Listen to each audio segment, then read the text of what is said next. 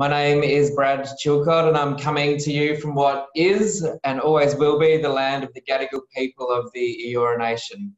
I pay my respects to elders past, present, and future of these lands, and also to Aboriginal and Torres Strait Islander people joining us from many different lands uh, across what is now called Australia. It's really essential that we remember the privilege many of us enjoy came at great cost to others, that sovereignty was never ceded and that injustice continues to this day. And that First Peoples are disproportionately impacted by many of the issues we'll talk about tonight as a result of ongoing colonisation, paternalism, and racism. And we um, at White Ribbon Australia and the Harmony Alliance uh, and our panelists collectively commit to walking with Aboriginal and Torres Strait Islander people in a spirit of harmony towards a future where everyone has equal opportunity to belong, contribute, and thrive in this society. As you know, I'm here with two incredible women, Nyadol Nyuon and Jess Hill, who I'll introduce more fully in just a couple of minutes, but you can wave, both of you, you there? Um, and I like using gallery mode when we're on these big Zoom events because I can see everyone's excellent, beautiful faces who've joined us. So you can click gallery mode in the top right of your screen if you if you like to work your way through and see all the guests. Um, before I introduce our panelists, a couple of administrative things. We had over 100, uh, over 100, over 700 people registered tonight, and the chat function is on. Um, you'll see if you ask some questions that Scott and Trent from White Ribbon Australia are there in the chat and they can answer some of your questions. Uh, but also AFSA and Patrick from Essential are here to moderate um, if needed and they can respond to any of your tech questions. So if it's not working for you or the audio drops out or anything else goes wrong, reach out and AFSA and Patrick will hook you up. Um, but I do want to say that we will exclude anyone very quickly who isn't helping us create a safe space. And we won't tolerate any misogyny, racism, homophobia, or transphobia in this conversation, or indeed anything that makes people feel unsafe. So please respect that. Otherwise, we'll need to remove your ability to contribute to the chat. We're also live streaming to Facebook. So, hello everyone on Facebook, and please respect those guidelines on the chat there as well. Sasha from White Ribbon is uh, and Communique is looking after that for us. Um, so, thank you again for joining us, and I'd like to let you know a little more about our two guests before we get into this conversation. So Nyadol Nyuon is the chair of the Harmony Alliance, which is um, an organisation that exists to champion and, and uh, walk with migrant and refugee women for change. She's a lawyer, community advocate, writer, and an accomplished public speaker. Nyadol was born in a refugee camp in Itang, Ethiopia, and raised in Kakuma refugee camp in Kenya. In 2005, at the age of 18, she moved to Australia as a refugee, and since then, has completed a Bachelor of Arts from Victoria University and a Juris Doctor from the University of Melbourne, and now works as a commercial litigator with Arnold Bloch Leibler. She's a vocal advocate for human rights, migrant and refugee women, and the settlement of people with refugee experiences and those seeking asylum. She's worked and volunteered extensively in these areas with a range of organisations and you might see her regularly on the drum on q&a and she contributes to the age and the saturday paper and many other publications. In 2011 and 2014 Nyadol was nominated as one of the 100 most influential african australians. In 2016 she was the recipient of the future justice prize. In 2018 her efforts to combat racism were widely recognised with achievements including the Australian Human Rights Commission's Racism It Stops With Me Award for her advocacy and activism on behalf of the Australian African and Melbourne's South Sudanese communities and the Harmony Alliance Award for significant contribution to empowering refugee and migrant women. Nyadol was a co-winner of the Tim McCoy Prize for her advocacy on behalf of the South Sudanese community and received the Afro Australian Student Organisation Unsung Hero Award. So, Nyadol, how are you tonight? Can you say hello? I'm very well, thanks. And um, if you've been following the news and if you are in Melbourne, um, our numbers are getting down. So that's an extra thing to be tremendously excited about. Fantastic. It's great to have you with us. And I did want to say that on behalf of White Ribbon Australia, Harmony Alliance, and our audience, and actually all decent Australians, where we are sorry for the way you've been treated and the organised attacks by right wing extremists over the last few weeks and want to say to you that there are many, many thousands who stand with you in support and solidarity. And thousands of us are working hard to build a future where fear and division are no longer rewarded at election time and where prejudice has no place in politics or society. So um, we're with you, Nyadol, and, and we are sorry for what you've experienced over the last couple of weeks. Um, thank you very much, and thanks for support, everyone. And I'd like to introduce Jess Hill. She's a Walkley winning Walkley Award winning investigative journalist and author who's been reporting exclusively on domestic abuse since 2014. Prior to this, she was a Middle East correspondent and producer reporter across ABC TV and radio. In 2019, she published her first book, See What You Made Me Do, which is about the phenom- phenon- I never can say phenomenon. Put that in your bio. Phenomenon of domestic abuse in Australia. Uh, it was awarded the 2020 Stella Prize and has been shortlisted for a lot of other prizes, include, including the Walkley Book Award. In 2020, she's adapting her book into a three part series for SBS, which I'm really looking forward to, and is producing a podcast series with the Victorian Women's Trust. So, welcome, Jess. How thanks. are you? Yeah, thanks, Brad. I'm pretty good. Yeah. It's fantastic to have you with us, and I'm lucky enough to be in Sydney with with Jess um, here in the office in uh, George Street. So it's wonderful to see you in person. and I reckon Melbourne will be soon. Melbourneites will soon be able to say things like that too. Absolutely. Um, as I mentioned earlier, just before we get into the conversation itself, this event is co-hosted by the Harmony Alliance and White Ribbon Australia, but it's um, part of National Unity Week, a joint initiative of Welcoming Australia and the Lebanese Muslim Association, which is designed to advance intercultural and interfaith connections, understanding and respect. The theme this year is Solidarity, Together We Rise. And I've been really thankful um, alongside this to the Harmony Alliance for their willingness to enter into a MOU with White Ribbon Australia so that we can listen to and learn from you on our journey. And so we can partner with you in advocating for the rights, safety, and inclusion of refugee and migrant women. And so tonight we're speaking about what that solidarity looks like in the context of gendered violence. How can people of different cultures and faiths and backgrounds work together as good allies in eliminating men's violence against women. So, firstly, I want to ask um, Jess and Nyadol a, general question about allyship. It's also a question that relates, I think, to men's role in eliminating violence against women. But what does it mean to be a good ally across cultures, faiths, and background? We often hear this kind of language, especially during COVID, all in this together and, and solidarity.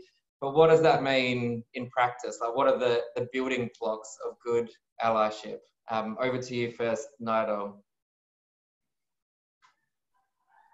Um, I think that's a it's a good question, but it is, it's a tough question to answer because I think um, where people need allies tend to be areas that bring up really difficult conversations about power and, and power relations. And that necessarily puts some people in a level of discomfort, whether it's um, whether when you're talking about allies in, in terms of uh, you know, gen, in, in this context of gender, that in itself involves a discussion of power and sometimes a letting go of power. And it's very hard to get people to the first point of recognizing that they might have power. And if it's in the context of um, you know, race or interse intersectional context in where it's, uh, you know, gender and race. So it's migrant women or refugee women.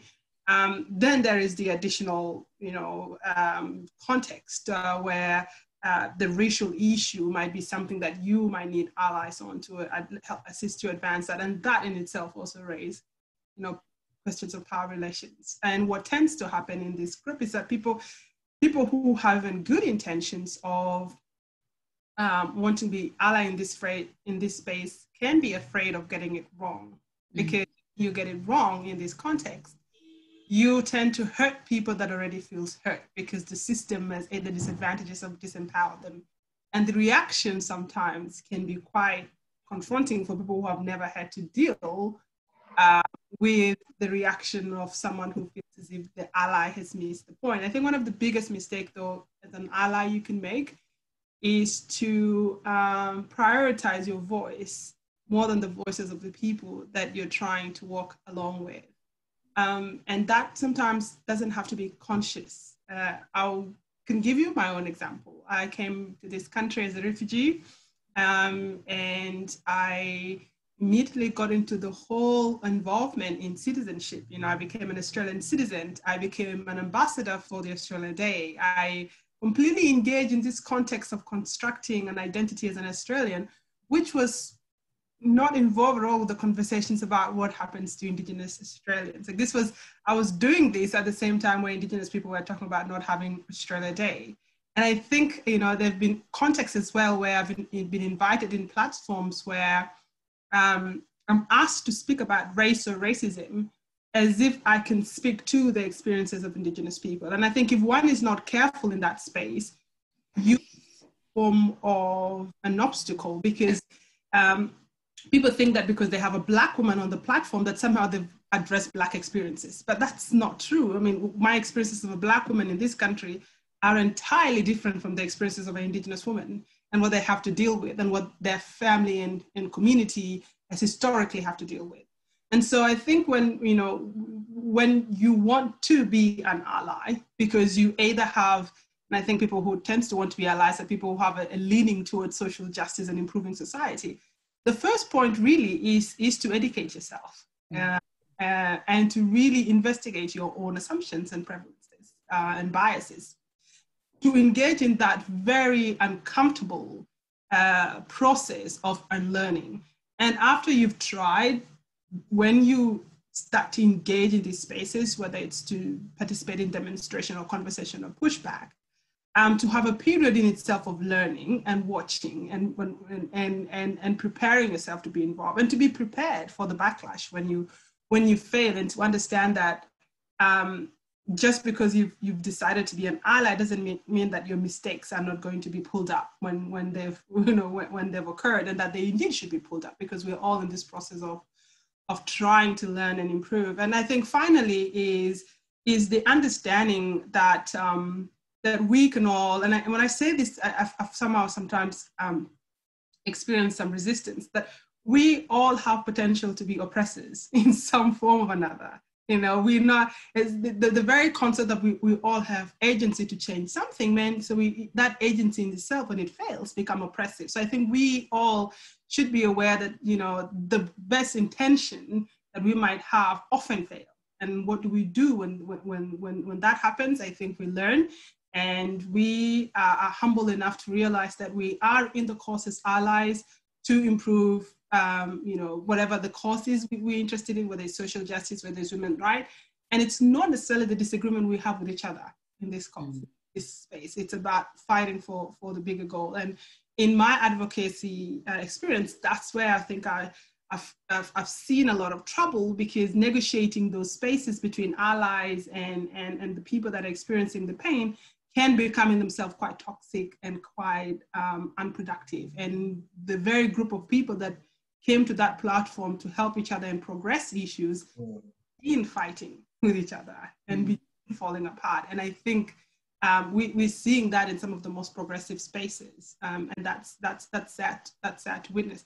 In some ways, I think it's, it's a good thing, maybe. It's a thing that shows that there is learning happening in some forms um, because we don't live in a perfect world, and so there's not going to be perfect forms of allyship and perfect forms of uh, solving solutions.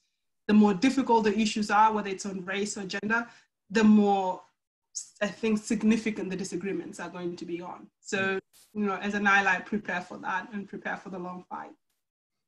Yeah, awesome. Um, Jess, I'm interested at, at the beginning, Nyadol mentioned becoming aware of our, our own power as the place uh, to start as allies. Um, mm. How's that been a part of your experience of, of being an ally in this area of gendered violence and, and cross culturally as well? Yeah, it's been a huge part. and when I was writing the book, you know, it's easy to say like, oh, smash the patriarchy and you know, um, fuck men's violence and all the rest of it. Um, and it's it's harder to look at where your own um, inner patriarch sits and where your own um, you know racism sits where your own pre- prejudice sits. Um, and i remember having some really uncomfortable moments with myself and just really having to reckon with my upbringing. You know i was brought up on the northern beaches of sydney and um, it's not a um, there's not a lot of cross cultural experience on the northern beaches. And it was not until i was probably in my 20s that i realized that a lot of what i grew up with was pretty racist um, and that undoing that is the same process as I think all of us have to go through in undoing our patriarchal learning, you know, undoing the learnings of white supremacy, undoing all that. Um, and it's, as Nyadol says, like it's not something that you do perfectly every day. And it's something that what I, what I tried to do, and, and certainly when I was writing the book, was to um, foreground the strength of people who I was writing about, foreground their intelligence, foreground the expertise that they'd gained not just through their experience, their trauma experience, but also through their life experience, um, but also work with them on their stories, not, uh, uh, you know, in terms of the power relationship as a writer, the power relationship that writers have with their subjects is that we write about people. You know, we, mm. we interview them, they tell us our stories, then we write the story. And often you know especially people who've been abused in an intimate partner violence situation their power has been taken away from them in a lot of cases or, or certainly it's been deeply challenged. Their narrative has been taken away from them their sense of who they are. So i really wanted to change that up and be like well this is your story. I'm just the messenger let's work together on telling it. So we would draft it together. You know, I'd write it, mm-hmm. then they'd check it, then we go back and forth and make sure that it was a story that reflected their experience. And in that was relationship building. And so when I'd be working with, you know, First Nations people or um, or culturally and linguistically diverse people, um, that process was a process of allyship, of working out what was important to them, what was important for people to know about them, um, so that's a big part for me of allyship. I, mean, I don't have a lot to add to what Nyadol's already said because it was so thorough what you said. Um, but what I would say is that allyship can be tricky on big issues that that affect a lot of people, like gendered violence, where you have, say, for example, laws that will affect a vast number of people with with different interests and and different needs. And when you're an ally, when you want to be an ally to marginalized people, those marginal groups, um, it's not like they're monoliths. There are massive disagreements within those groups. So I think it's not about being an unconditional ally that you just you cannot agree with everybody. You can't um, you can't be a unified front in terms of your um, what sort of things you're advocating for, what sort of things you're pursuing. What I think you can do is think about how will these people be affected for the, things I may be advocating. How how would this language affect those people? But I think that sometimes you know we're going to say things that are uncomfortable maybe they won't be right in the end maybe we'll have to rethink things based on the feedback that we get but other times it might be that not everyone's going to agree but you sort of if you really have done the research and you think no this really is the best path forward even if some people don't agree you sort of just have to keep going um, so it's really, really tricky because I never want anybody to feel like I'm speaking over them or speaking for them. Um, and and yet, you know, there are 2.3 million women who have survived intimate partner violence in this mm. country, yeah. um, and they've a number of them have got different ideas about how best to respond to that. And if I were to try to be an ally to every single one of those positions, I would just fall into a puddle. So, so I just have to listen to them and mm. try to take into account their concerns, thinking about in particular the late, latest campaign around criminalizing coercive control, trying to basic, I think allyship is basically listening to why mm. people may have concerns, why people might be for it, all of that, and making sure that in your advocacy, you are not leaving those concerns out, that you're not just pushing forward with an agenda that you have and letting those people sort of, yeah. you know, um, fall away in the meantime. I was going to add uh, something, if that's okay, and it's on the question. I think the reason why a lot of minority groups are exhausted with allies, I think it's because of the way it's been adapted in certain spaces by people whose intentions are not. I mean, you, we've had people who are supposedly, you know, in a in, in interest of indigenous people who have done tremendous harm to indigenous people. So witnessing this, and, and I think even Donald Trump is doing a very smart way of it, where he employs someone who is anti-environment in the environmental you know, agency, and so and, and it's similarly that way, where we're seeing people who claim that they're allies, claim that they're anti-racist, and all that, but clearly their history doesn't demonstrate that and so um, it, it is frustrating when you're in those, those spaces because that's that's that's uh, that's when you really see the power of of the power structures operating because you know someone who happens to have held a public office before is heard more on indigenous issues than say an indigenous person living in those communities mm. that's when allyship become problematic and that's another point Nyadol really important um, is in certain spaces not to step aside in the sense that like you know like for, for uh, you know just speaking on my own behalf you know i've done five or six years research into domestic abuse now and when i get opportunities to speak about it i want to be able to speak about it but i also see the opportunities where i can step aside and let's and, and suggest someone else to take my place. Absolutely yeah. And I've, I've, I've, I've done that you know i mean maybe this is a practice that others could adopt and i think it's been adopted in other contexts where if I'm invited on a panel that I think that deserve to be Indigenous person on it, I make sure that I make that known and I make sure that I ask them um, whether or not that position has been offered first to Indigenous person. So that's stepping aside, truly stepping aside and saying, this is not a space for me. This is, and this, and or certainly it can't be a space for only voices like mine alone. It must include mm. people. And then pushing either for them to set up a separate agenda that address that and indigenous views or um, making sure that there's another person present or in fact stepping down and, and not engaging. Yeah the, the question of power and becoming aware of your own power is re- is really interesting. And i think when when someone decides that they would like to be an ally is kind of a moment where you have a teachable moment and start to think about your own your own power and and you start as as you've said um, along the way when you become try to be an ally and you get it wrong you quickly find out that you that you got it wrong. Um, but I, am interested in taking one one step back from that. How, how do you get someone who I guess hasn't made that you know I've decided I care about racism or I've decided I care about gendered violence is there a way that you've seen that you can make someone start thinking about their own power and re- reflecting on that? Is there a is there a teachable moment before now I care about this social justice issue, um, or, or something that makes somebody become suddenly aware of their power and how it can be problematic? Either of you jump in on that? What do you think?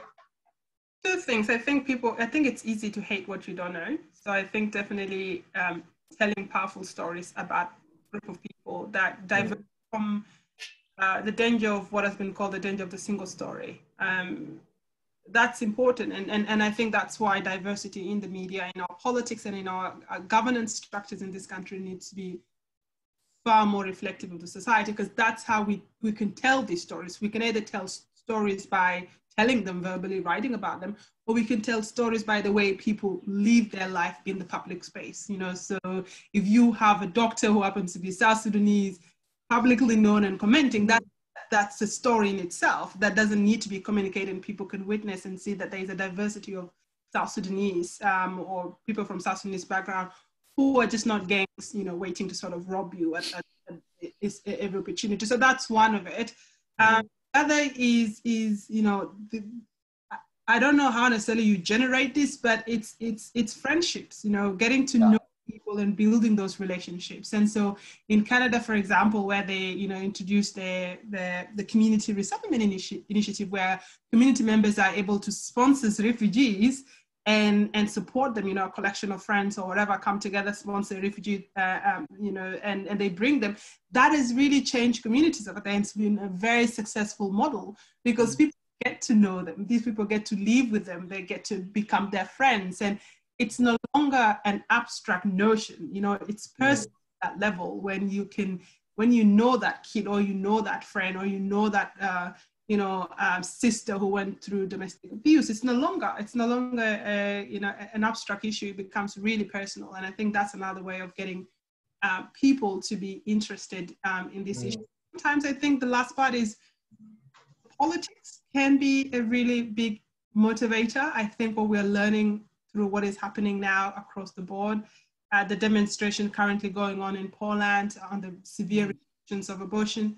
You know, those people begin to realize that all these rights that we had and we thought were won and established that they can be taken away and that they can mm-hmm. disappear in a very short period of time. And as we see the kind of civil movement across the United States on issues of race, on issues of democracy in Poland and in other countries, this is people now realizing that the, the rights and the privileges that allow them to live their day-to-day life um, are at risk. Mm. Yeah. yeah, I think um, you know, and I can I, I speak to a, I guess a, a, different experience, you know, in the sense that what I was trying to do when I was writing the book was to um, to try to make men feel like this was a conversation they could be a part of, um, to try to help men understand the, the role they play in patriarchy and um, and what patriarchy has given and taken away from them, and what was actually really helpful because when I was writing the book and you when you're researching like history of patriarchy, history of men's violence against women, I mean it's very easy to go down an, a total angry ant pathway where you're just kind of enraged from morning to night. And so I, I kind of got that out of my system um, after a few months. And living with my therapist husband was useful because he sees a lot of these guys who kind of slip into abusive patterns, you know, in their relationships. They're not the hardcore perpetrators, but they're very harmful in their relationships. And what David was really able to sort of refocus my mind on is like, how do we speak to these guys? How do we get them to understand the power they hold? Because actually, counterintuitively, a lot of these guys feel powerless, even though they act in a really entitled way and and generally in their homes have established a situation in which they have more power than their partners. Um, so how do you get into that space where they're already feeling defensive don't feel like they have any space to talk about this conversation? Even the guys who are not being abusive can feel like just talking about domestic abuse they're going to get it wrong. Like Nyadol said you know you're, you're basically going to get put your foot wrong and then you're going to get it cut off. Um, and so what i really tried to do in the book was to match um, accountability with understanding and show through um, chapters on you know toxic male shame and also the chapter on patriarchy that this is um, if you can grapple with your own power and grapple with what different kinds of privilege you have um, as a male and that's a privilege is a really difficult um, concept to really unpack but let's just say a, an entitlement to power, um, that actually undoing that patriarchal learning yourself, which has taught you as men to really favor control, autonomy, which you know separation, um, to to favor um, not trusting, to to always seek um, higher status and power over. That actually learning how to let go of that is going to open up so many opportunities for better intimacy, better friendships, more peace. You know, that this patriarchal system, while we talk a lot about men using it to overpower women, it's also used by men to overpower other men and to create um, a pecking order that men are often acutely aware of. Um, I remember in a men's behavior change program, when the facilitator was talking about shame and asked the men in the group to say, What does shame look like? You know, and they said, Shame looks like another man because it was men who were shaming them into being a certain way, into obeying the rules um, of manhood. So, in the book, what I was just trying, really trying to do was to absolutely not shirk the issue of men's violence and not shirk the issue of men's entitlement, but also just show men like it's not that you need to understand your power and your entitlement as a charity issue or as a gift to women. Do it as a gift to yourself. You know, if we can only appeal to self interest in some of you, see how this actually affects you and affects the quality of life that you're going to have. And a big part of that was really realizing that a lot of men who perpetrate violence against women, um, they may fool themselves into thinking that they've got everything they want, especially the sort of high level narcissists um, who think that they're in power and that's exactly the position they want to be in. But a lot of these guys are miserable. You know, there's a reason why in New South Wales, when the homicide, when the death review team looked into suicide and the issue of suicide with um, people who had histories of domestic violence, to their surprise, they found more perpetrators had suicided than known victims. You know, so this is a lot of these men are actually miserable people, you know, um, and unpacking why they need to take power and why they need to, you know, use that male entitlement to to overpower, to shame, to degrade, um, to um, to minimize their partners and to hold them in a space of control and domination is not working for them. Mm. Um, and there's other there are alternatives. There are other ways to live, but it just takes work. Like all of us, anyone unpacking their own power and privilege, it takes work. Like Nyadol said, you have to educate yourself. It's uncomfortable. You know, even my publisher, um, who's a, lovely guy, said reading the patriarchy chapter was uncomfortable for him. Um, but ultimately, he felt included he didn't feel excluded by the way that you know that, that i was writing about it and i really try to talk about it in that way too so that men feel that this is something that they can be included on that they need to listen to get educated on but they can be included in this conversation.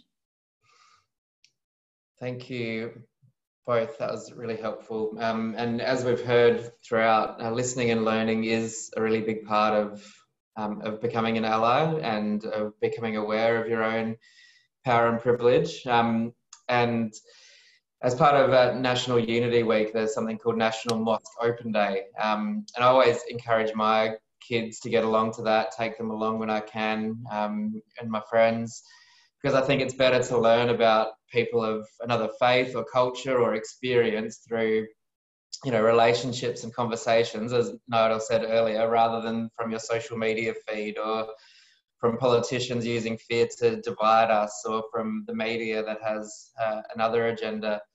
And if we're going to be able to work on these, these issues of, of gendered violence and of men's abuse um, together, understanding some of the unique issues facing refugee and migrant communities and refugee and migrant women is, is key. And so, Nyadol, I'm wondering if you might share some of the broad issues that the Harmony Alliance uh, are working on um, recognizing, as Jess said, that um, that these communities aren't uniform, but do you share some common experiences as refugees and as migrants settling um, in this uh, very white Western colonial culture that we have here. Could you could you just share some of those things that we can learn about about those experiences with us?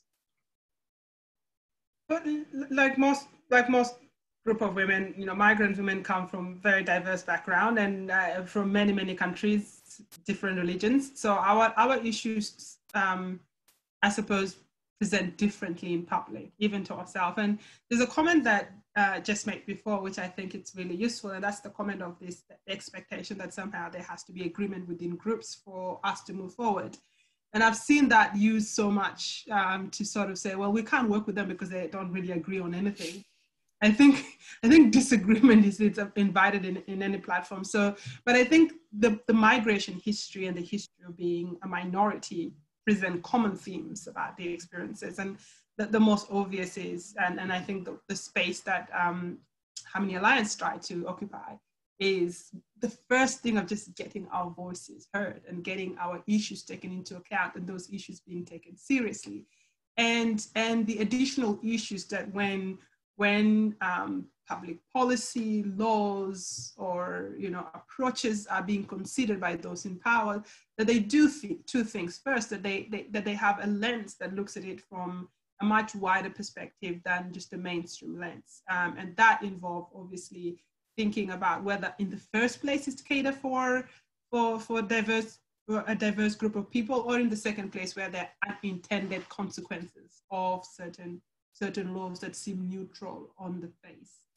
Um, but you know, in, in the area of domestic violence, especially, the challenge that we face is how do we communicate the obvious patriarchal issues that we have that all the other community shares without them then being turned around and being made as a part of our identity as cultures or religions. So, um, you know, my experience is that most women do not want to want to report abusive um, husbands to the police, partly because there is the community stigma that exists within certain communities. My community, very conservative socially, but because they're afraid that if they do so, the narrative then become those migrant violent cultures that don't change. You know, it's it was fascinating to me, um, fascinating as a thought thought exercise, not in the real sense, but when the minister introduced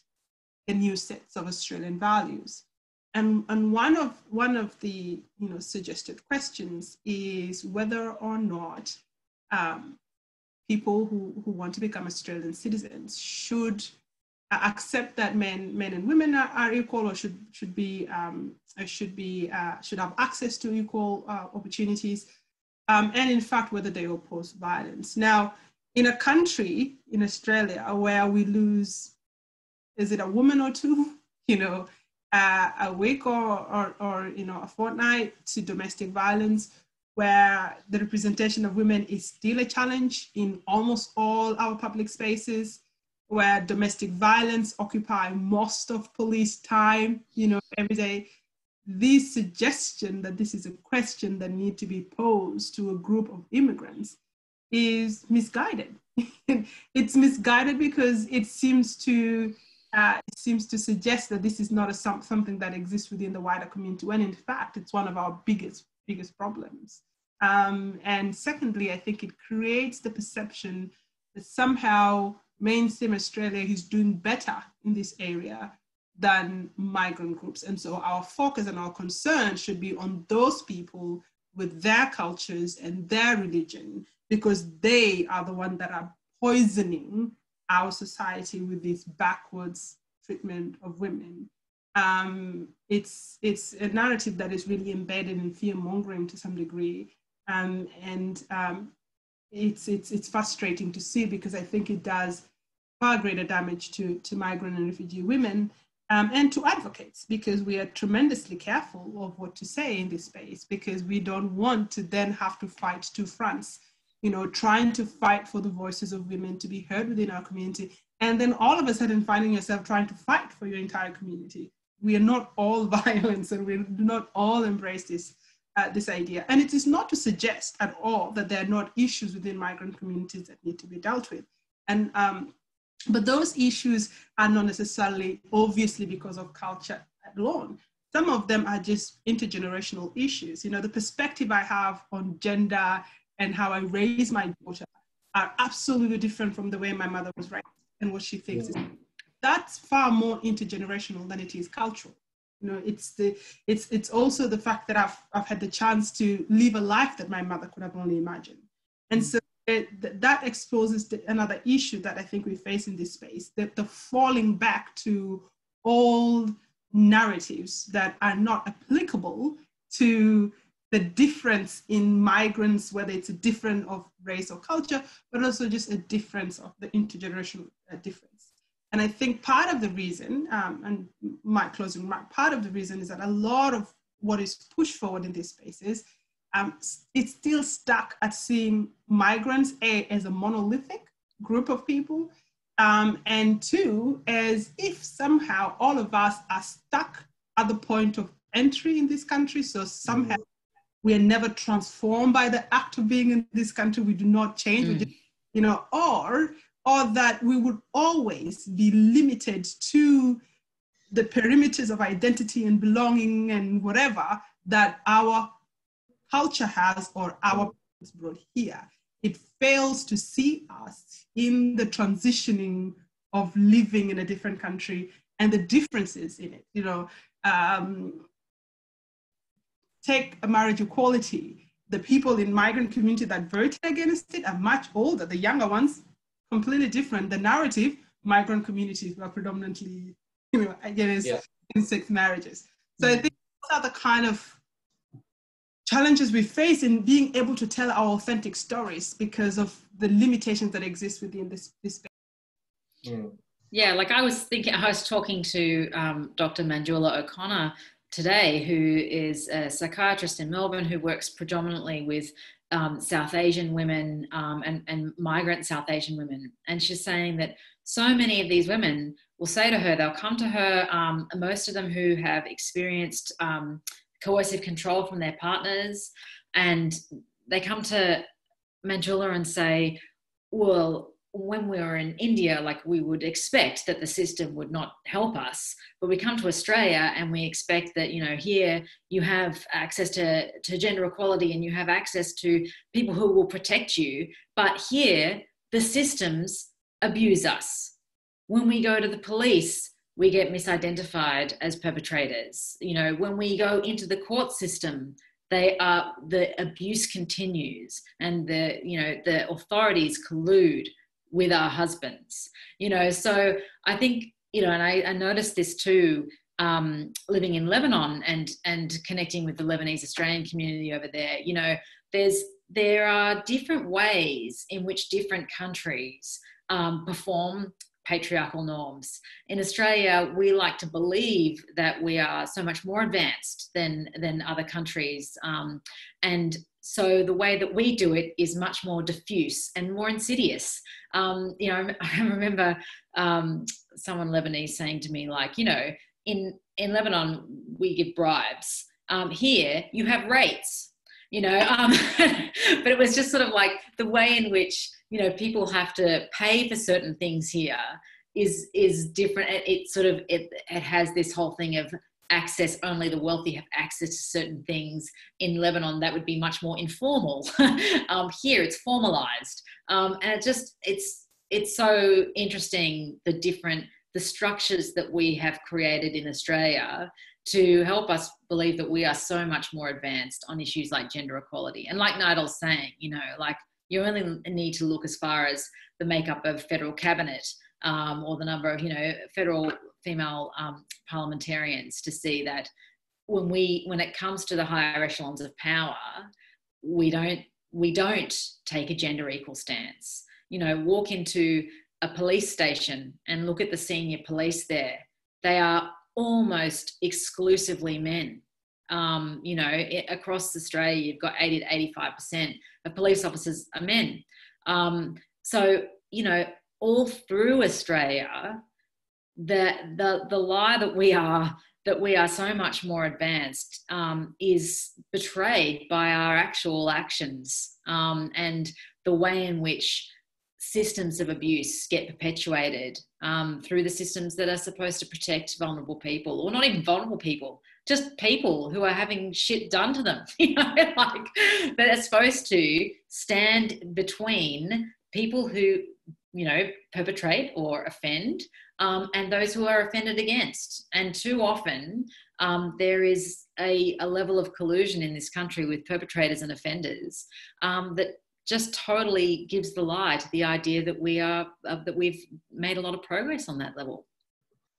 And, and sometimes it's just absolute institutional blindness that I've that I've witnessed. Um, so, um, um, say a good example is there's a there's a group uh, that say what one one thing that is becoming really common is a form of abuse is the exploitation of social media to either publish intimate photos of women and and in certain communities the cultural consequences for having your naked pictures put out there are tremendously damaging, just just damaging, damaging to the point that some women have committed suicide. So that's that's cultural stigma that that comes from being exposed in that way.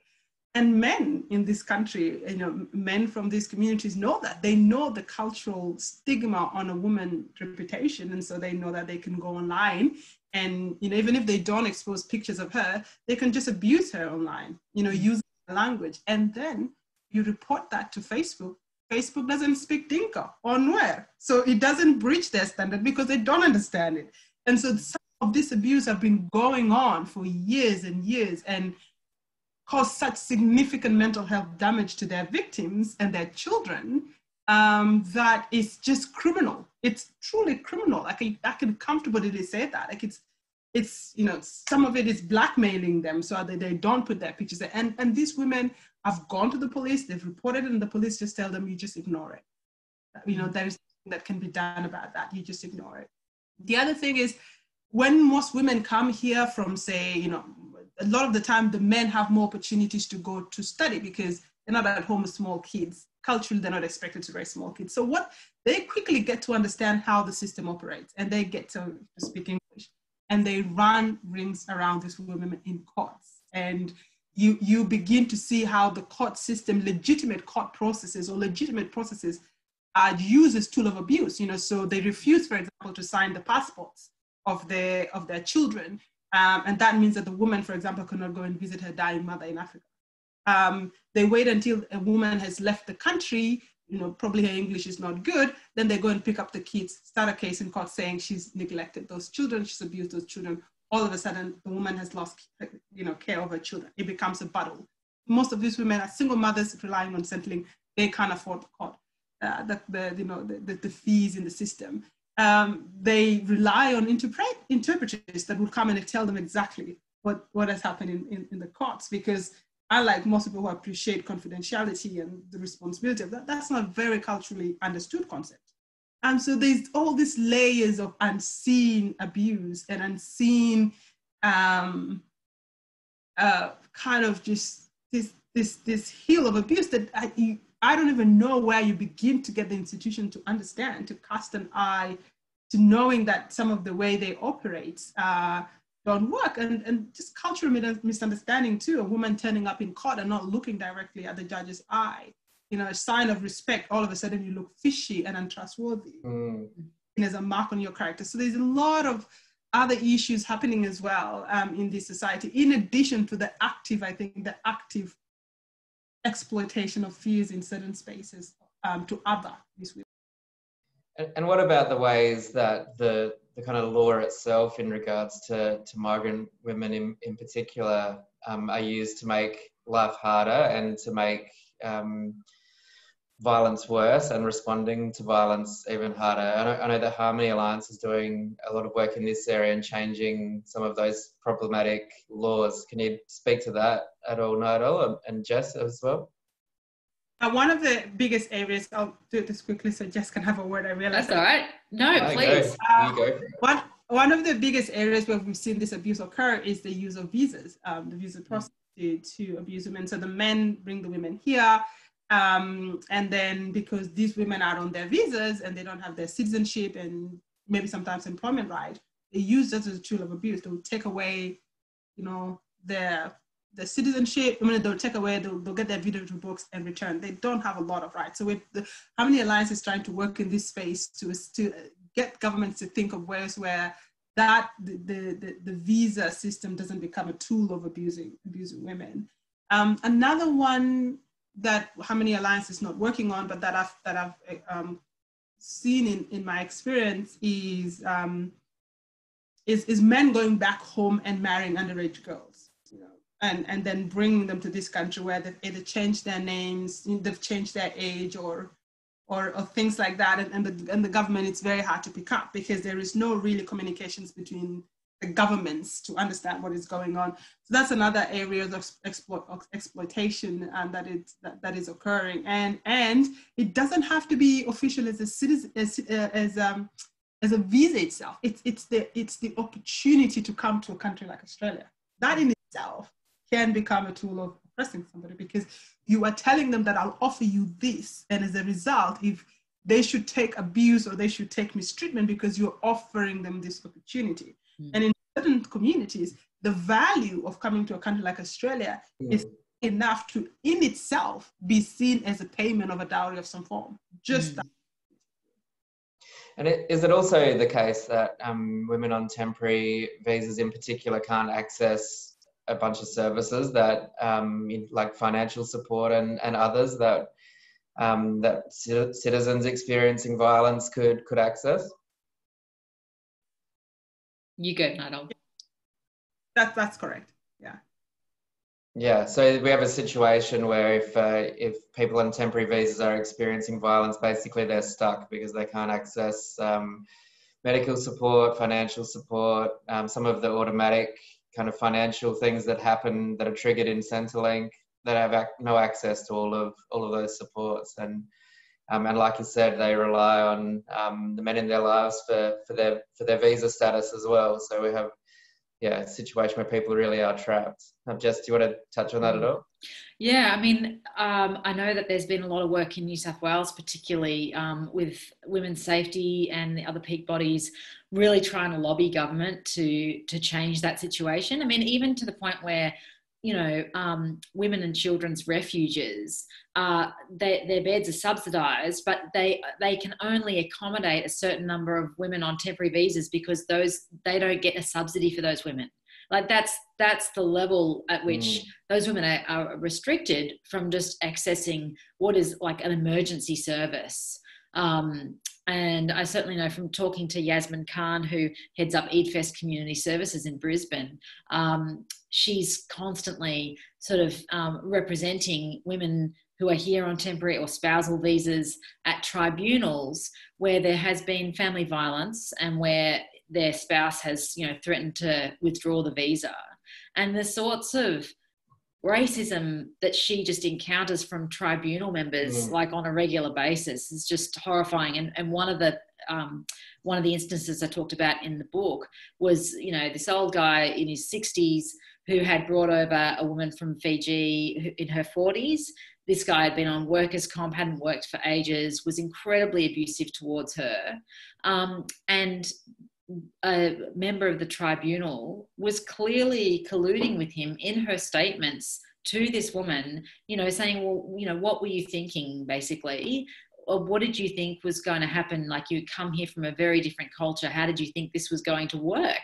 I mean, just the most shocking sort of callous thing to say, to, especially to a woman who had at the time um, a child who'd just been diagnosed with a very serious disorder um, that if she was sent back to Fiji, wouldn't have been able to get medical treatment for. The, the child was, uh, you know, a product of this guy um, who had brought her over, and yet just the the lack of empathy um, and just like street level human empathy, nothing specialized, mm. um, you know, shown towards that woman was just shocking. But that's what um, Yasmin would encounter every other day, you know, in in representing these women at these tribunals. Um, so yeah, I just think that the the gap between how we see ourselves and our values um, too often is just a gaping chasm between our actual behaviours.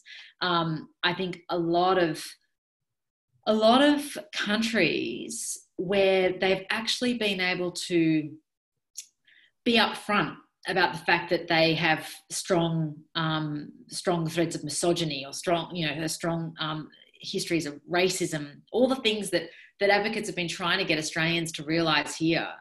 Um, they've actually been able to take quantum leaps um, out of the systems that that harm people towards systems that help people and mm. one of those you know i talk about quite a lot is um, is in latin america where the police stations for women have, have worked for the last, you know, well, since the 80s, so almost 40 years.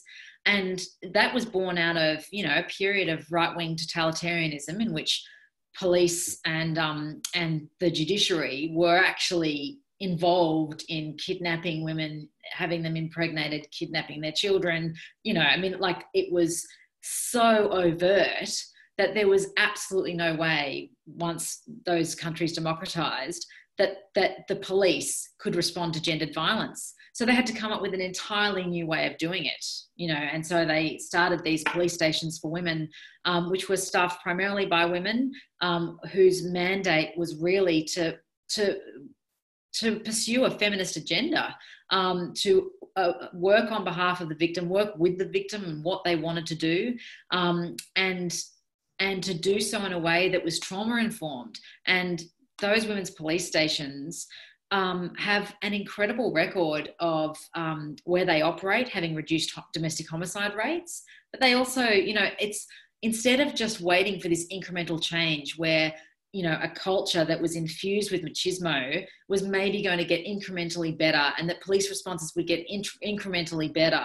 Um, they went you know what? We're just going to like turn the whole system upside down and do what needs to be done. Now in australia trying to have that conversation with police here you know they'll say but we've done so many good things and we've got this gender equality program here and we've we've we're going for 30% you know female officers and we're all that it's but the progress even with the most dedicated and devoted um, work is so slow and in the meantime the harm is enormous and if we were able to just go you know what yep our systems are pretty misogynistic. Um, our systems are pretty racist. Let's like completely rethink how we do this instead of just going, well, just trust us. We will improve. We will improve. It's like, well, how long are we going to wait for the incremental improvements? And why don't we just admit to ourselves that this is the sort of work that will that will take a century to, to have the kind of you know um, advances that we're looking for if if that even happens and just try something different. But until we admit that to ourselves, no one will, will go to the effort because they'll just think, well, there's no point. We should just keep on incrementally improving. Um, yeah, so. Yeah, and I think about that at that kind of meta level, the culture in which our attempts to prevent violence and respond to men's violence um, occur.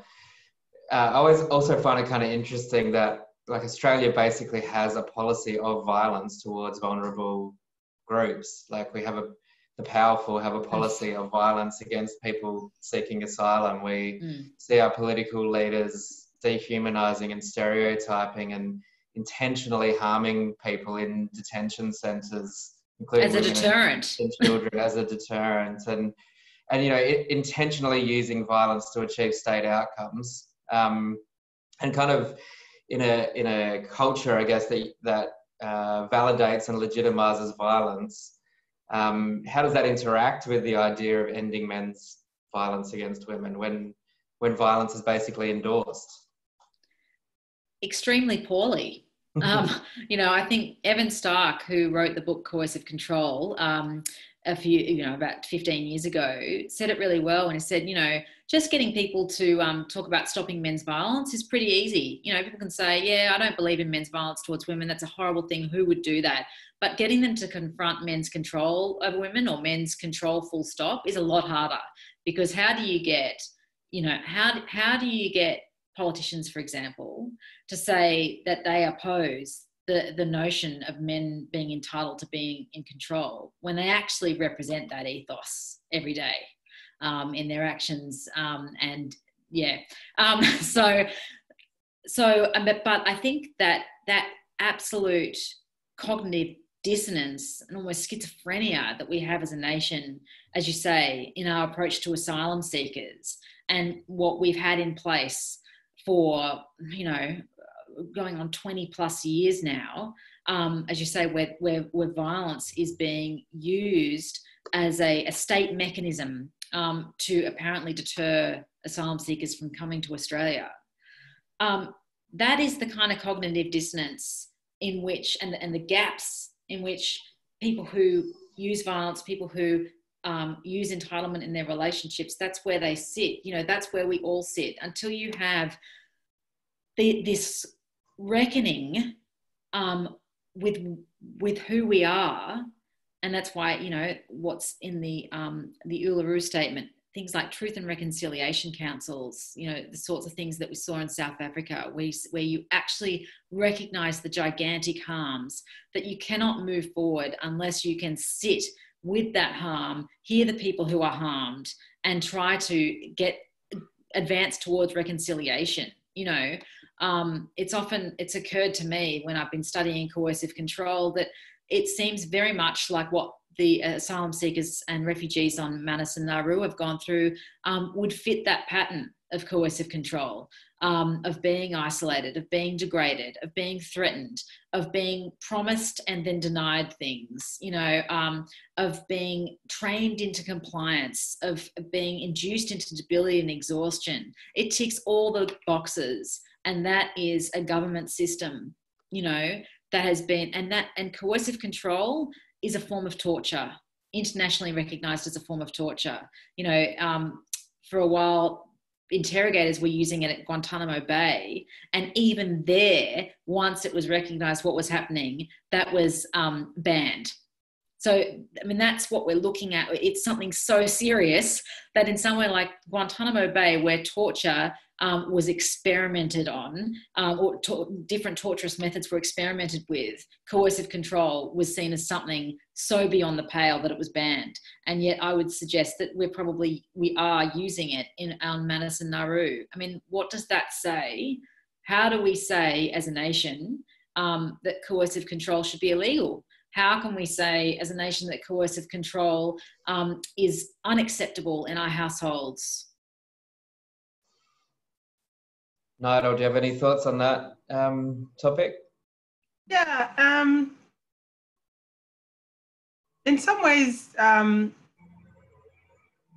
I think what what what the difference in how we treat people that we have classed as, as the less human in some ways by the way we treat them um, is it's so entrenched in uh, wanting to be controlled Western society. I mean, that's, you know, you look at the founding document of the United States, all men are born equal except the blacks, you know, so this, it, it's part of, you know, or, or, or the notion of terra nullius, the, the very notion, legal notion that was established this country.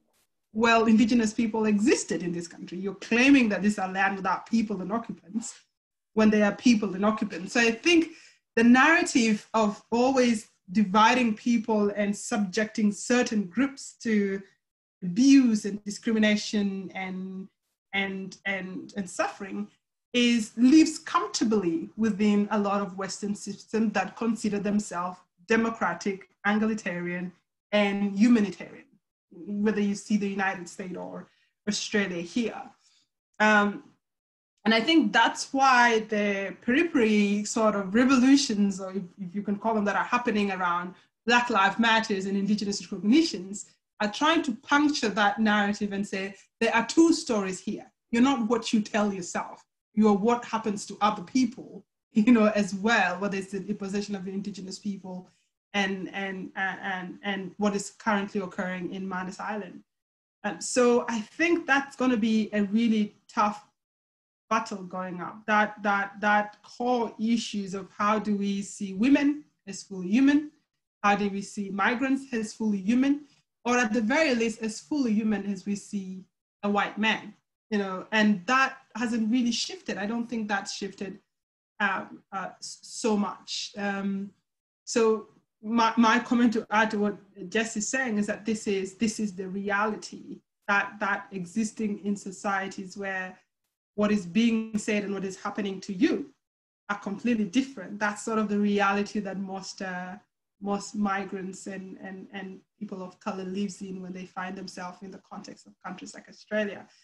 I uh, find it slightly fascinating to see COVID, the, the reaction that people have had to COVID-19 and the way that parallels with some of the conversations that people experience racism or gender-related issues um, talk about them, this kind of relentless cloud that never goes away. It is always there, that has the potential to harm you, but you don't know when it's going to do so, that you really can't control.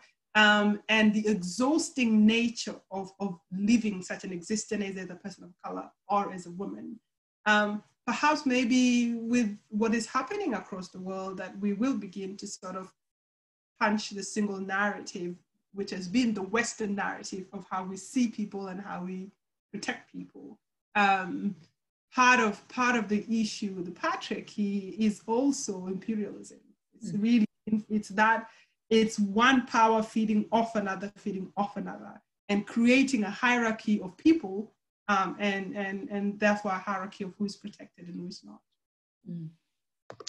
Yeah, I've always found it very interesting. I guess when the the, the state um, or the the powerful say, you know, you people can't be harmful to those people, and so we're going to to eliminate men's violence against women but we can be we can be harmful to this group of people, and you know you, you shouldn't have uh, inequality and humiliate that group of people. Men, um, you know, is the focus at the moment. Men not humiliating and harming women. We're going to put a lot of money and effort into that, but at the same time, we're going to harm and humiliate people of color or, or migrants or or etc. And I, and I think you're right that that um, overall cultural picture of the powerful um, feeling like they have um, the the right um, or the entitlement to um, to treat the vulnerable in that way creates a, a, hard environment for us to address men's violence against women. Um, so yeah, it is a it is big cultural questions for us to answer as well.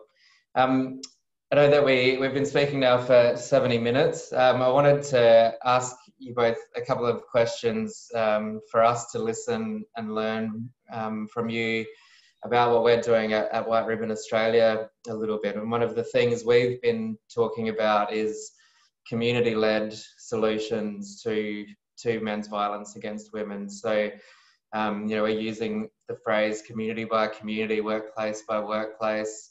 Um, but the idea of it is that I, you know, I don't have the solutions to gendered violence in a culture that is not mine, or or a faith group that's not mine, or or even, you know, simpler than that, a geographic area that's not mine. The the um, problems and the solutions that face communities are, are unique.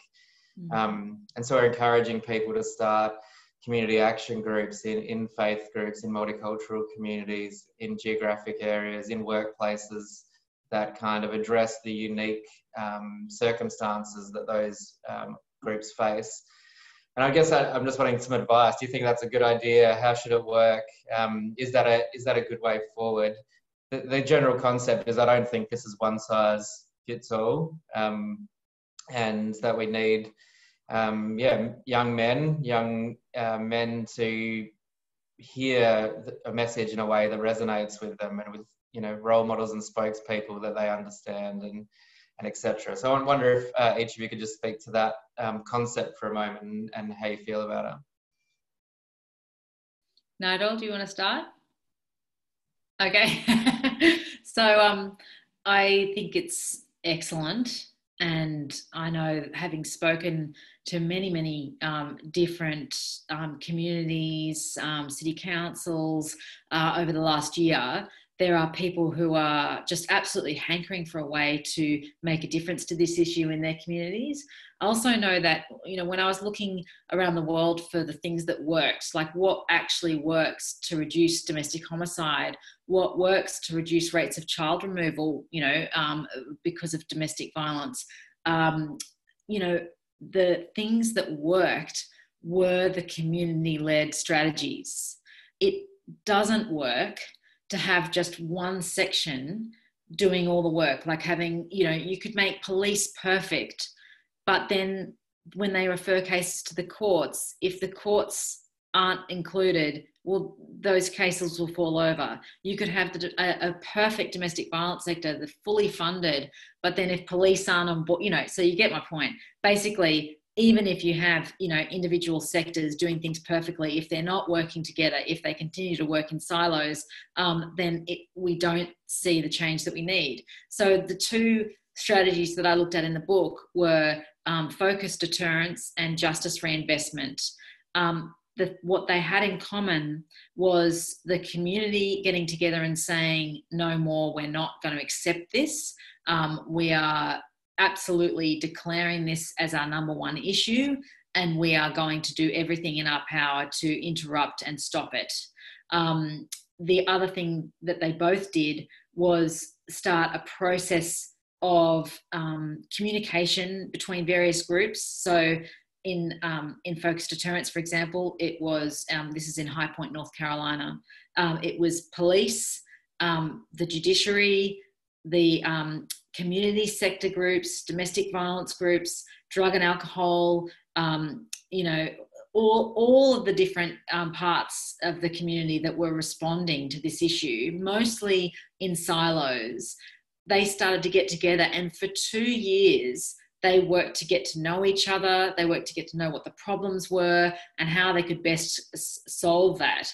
Um, and what they had was this sort of carrot and stick approach. And this is a bit the same with justice reinvestment, although not quite, which was to perpetrators, we love and um, respect you as as members of this community. We want you to be fully fledged members of this community and we want you to be able to do the work to change your behavior and we will help you. If you accept our help we will help you. But if you do not accept our help or if you do not help yourself and if you do not change and if you continue to offend then the law is going to come down on you like a ton of bricks basically um, there will be no loopholes every loophole that existed before will be closed. The loopholes in the police and the way they charge, the loopholes in the judiciary and the way that they prosecute, the loopholes in the federal marshals and the way they pursue you if you cross state borders. All of those loopholes would close. And the way that they closed those loopholes was to meet every morning um, for four days a week, and they would um, discuss between the police, the judiciary, domestic violence sector, etc., what had happened in the past 24 hours and casework all together as to how they were going to do this.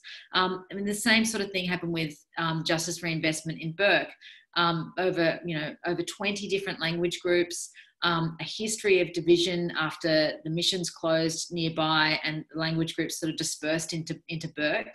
There was a lot of work that had to be done before any sort of action could take place to get all of those language groups in a type of agreement where it's like this is what we want to pursue you know?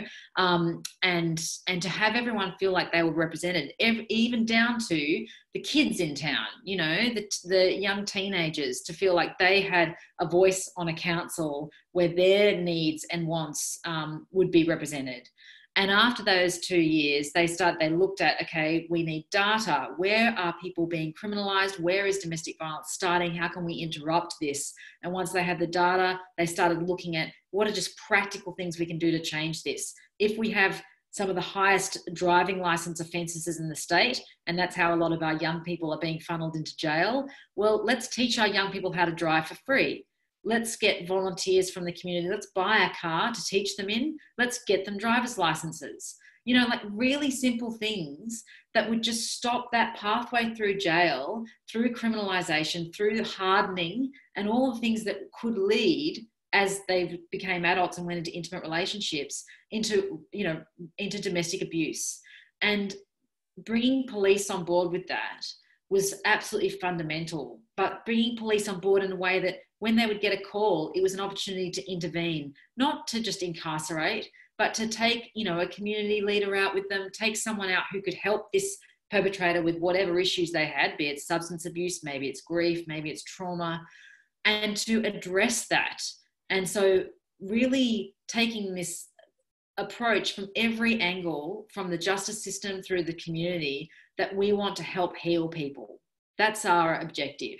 But the the all of community response was absolutely fundamental to that. And in both of those areas, High Point, North Carolina, and Bourke in Outback, New South Wales, um, the results have been stunning. You know, in Bourke, almost 40% reduction in um, repeat victimization rates, um, but also things like historically low rates of child removal, um, historically low rates of people accessing um, crisis payments from Centrelink. All of these data points that show you because police data doesn't show you much given the low reporting rates all of these different data points that show you that community is getting better. You know they are becoming more harmonious. There is nothing else that works aside from community action. I think just to kind of answer that comprehensively, mine is more almost a question and reflection. Um, because when you're dealing with certain communities, you're dealing with communities within communities. So you're dealing with a migrant community within, say, a mainstream community.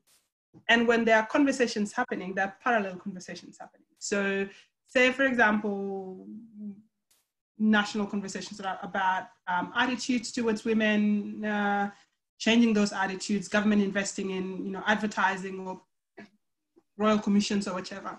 So you've got that conversation happening at that level, but it doesn't necessarily mean it's the same kind of conversations that are happening within say, the other migrants community themselves.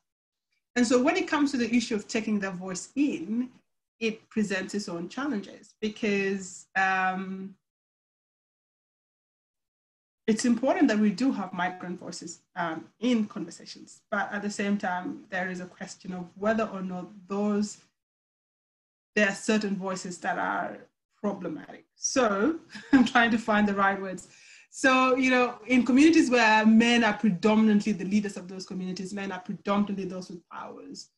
When we talk about hearing people's voices, those are the voices that then get fed into the mainstream mm. happen. But if, if these communities were, say, back in their own countries of, of, of origin or country of birth or country of connection or ethnicity, um, the second problem that I'm going to discuss probably won't come up. So sometimes what I find in this space is that people would say that the very nature of conversation happening in the mainstream are inherently racist or assume them to be racist. People in the mainstream then become really careful about challenging patriarchal practices in those communities because they're afraid of being um, told that they are that they are um, that they are racist. And so what then happens is that sometimes the mainstream conversations happen where progress is happening, while the conversation within this community remains stagnant because nobody wants to be told that they are racist. I hope it makes sense. So what is happening is I think that when we talk about implementing migrant voices, there has to be some very serious, uncomfortable conversations that have to happen within those migrant communities and, and, and, and then between the two communities.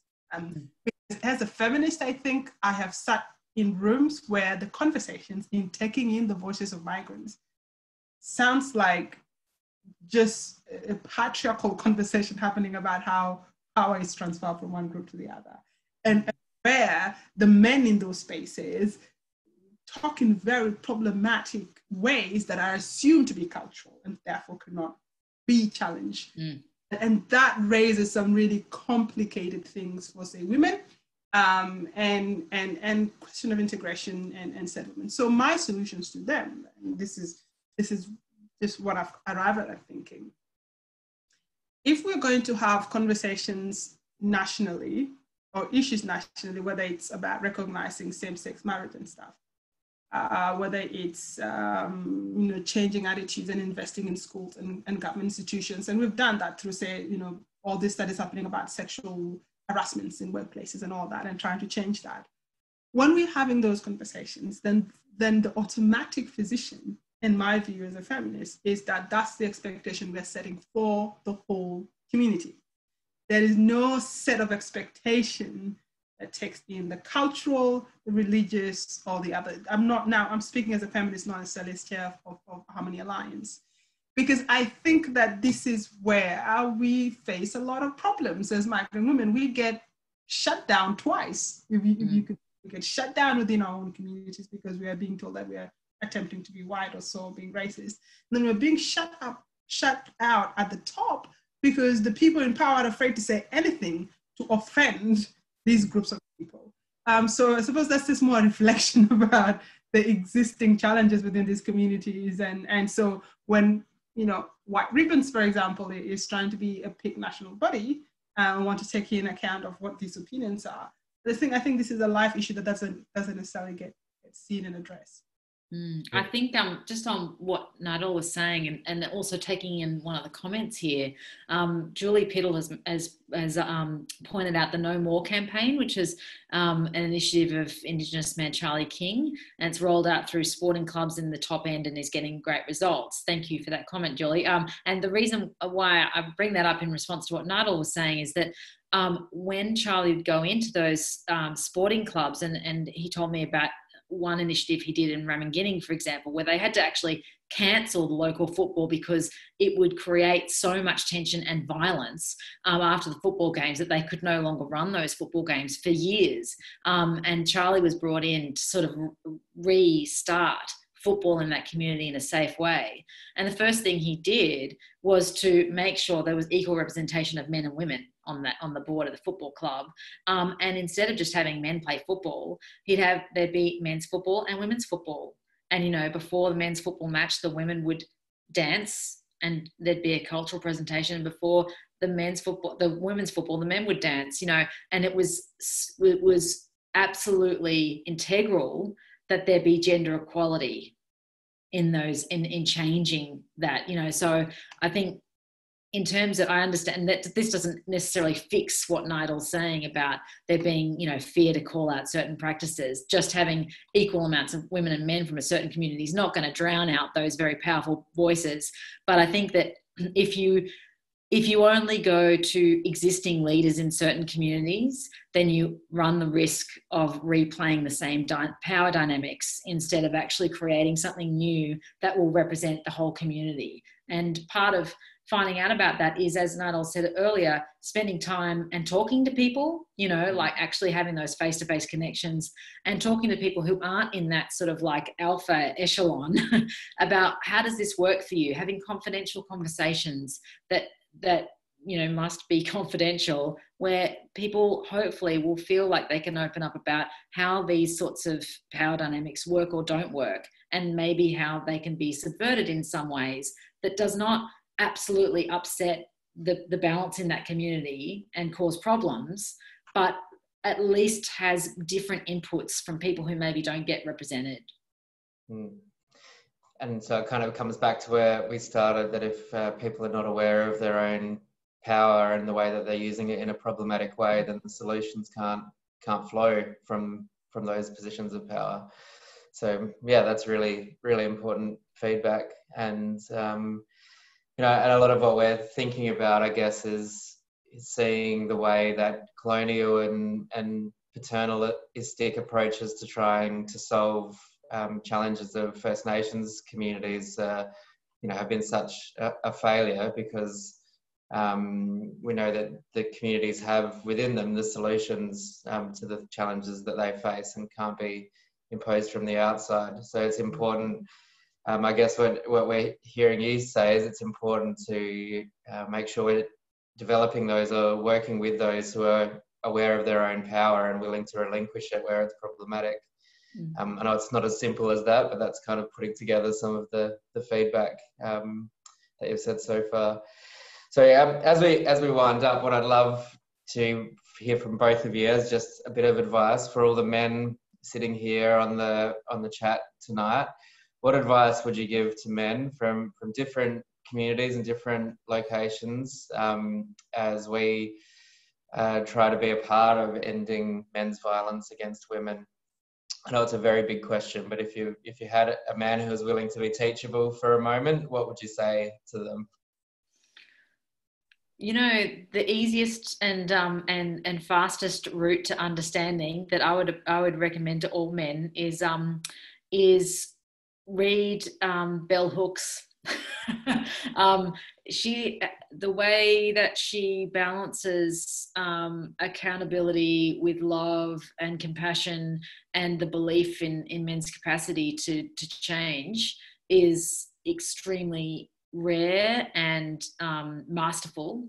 And her book, particularly The Will to Change, is, I think, it should be a textbook for men on, on how to enter greater understanding about their behavior, but, but also about what's open to them if they open up to understanding how how patriarchy has affected them, has um, has cauterized some of their emotional connections, and and what what an alternative life can look like if you can sort of challenge some of those habituated um, um, ways of living. So yeah, I always say like read bell hooks, um, read, um, but also just. Uh, study the work of First Nations um, women writers. Uh, Judy Atkinson's Trauma Trails was an absolute revelation for me, um, and and understanding that our way of life is not the way that we live now and the and our colonial history and where it's brought us to now is not inevitable. Um, that this is not the only way, um, and that there are so many other cultural ways of coming at things, so many different ways to to live. That if we just open our eyes to it and open our open our eyes to the world's oldest continuous living culture um, and and the traditions and wisdom in that culture um, bring us so many different approaches to problems that I think we're stalling on um, and behaviors we're stalling on because we keep on taking a white approach. Um, and as Julie says in the in the comments, talking up to the white women, white woman um, Aileen Moreton-Robinson, essential not just for men, um, but but also for women. Um, it's a bit of an academic text. It certainly was written that way, um, but it does cut through and and holds women to account for their own their own role that they play in in continuing an oppressive patriarchal culture, even unconsciously. Um, so I I always think too that as much as men have got a role to play in, in, in facing up to these things, and certainly the harms are very strong from men, that women equally need to unlearn their patriarchal habituation as well. Mm. Not because they're responsible for an equal level of harms, but because we are all living in a system that is like a feedback loop, and um, and we've all got to unlearn it. Thanks, Jess. Nyadol, advice for men. I will start by suggesting a reading. Um, Chimamanda Adichie's um, book uh, article, or it's a, I think it's also a TED talk. Why we should always be feminist. Mm we, we should all be feminists. It's really good. It's very simple read, um, and you can decide whether it's persuasive or not. That's a good place to start. But uh, this conversation somehow has swung between the personal and, and the social. And when we talk about, when I think I, I, we say about allyship being a personal journey, it's because even if in this journey of self-discovery, of learning and unlearning, um, even if you don't get to change the world, you get to change your immediate environment, mm. the women in your life, how you treat them, the women outside your life, how you treat them, the women in your workforce, how you treat them. There would be a point of contact for those women in their daily experiences, that you be the point in which they don't experience an indignity that day. I think that's still important where you carry yourself an individual. It doesn't matter whether eventually we are able to change the world. The third thing is to move away from that, you know, if to, is to be able to get yourself to a point where you doing that is not a charitable act, you know, that it is something that you truly believe is important, not for your country or for your family, um, for this world. My uh, feminist hero um, happens to be a man. You know, uh, Thomas Sankara, who, who was a revolutionary fighter in Burkina Faso. And he says the conditions of women is therefore at the heart of the question of humanity. Here, there, and everywhere.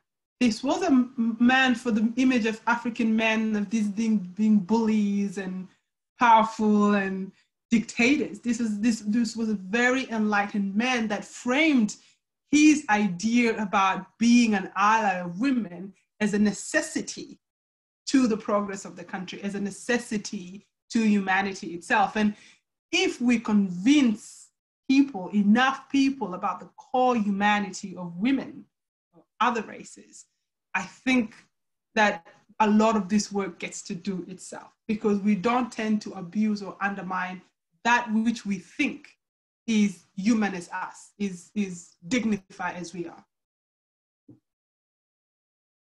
Thank you so much. That was really awesome. I love that um, reminder of you might not change the whole world, but you will change the experience of the, the people around you and the women uh, in your life. Um, by reflecting on those aspects of yourself, that that's really powerful. And I would really love all of us to do a, a silent clap for Jess and for being with us tonight. It's um, some pretty incredible, eloquent answers that you gave this evening. Um, and uh, yeah, really, really powerful um, learning for all of us, I think. Um, and I think that showed in the chat. And um, almost everyone stuck around for the whole uh, 90 minutes too. So uh, thank you so much for your contribution, both of you, and for what you contribute um, to the broader um, goal and of changing the narrative and the culture um, here in Australia on so many fronts, um, and in eliminating men's violence against women, but also in making us a more welcoming, inclusive, equal society in general. Thank you so much. Um, also wanted to thank Harmony Alliance for partnering with us on this um, event tonight and um, for all you do to represent, uh, work with and advocate for refugee and migrant women in Australia. Um, and uh, our custodians Communicare, who um, many of the staff have been gathered in Perth watching this evening. And also to AFSA, Sasha, Trent, Scott, who Patrick as well, who've been helping out in the back end, um, holding this webinar together. Thank you so much. And thank you everyone for joining us. Um, if you're interested in learning a bit more about community action groups, check out our website. It's also a bit of our focus for White Ribbon Day this year, not an event that is a purpose in itself, but pointing towards um, ongoing sustained community-led action. So love to have you involved. Thank you, everyone. Oh, I would like to just finally give a shout out to my sister Vicky Wellgraven, who is uh, a fantastic um, First Nations leader from South Australia who was on our first webinar with us and is here tonight. So uh, great to see you, deadly sister. Um, farewell, everyone. Thank you for being with us. See you soon.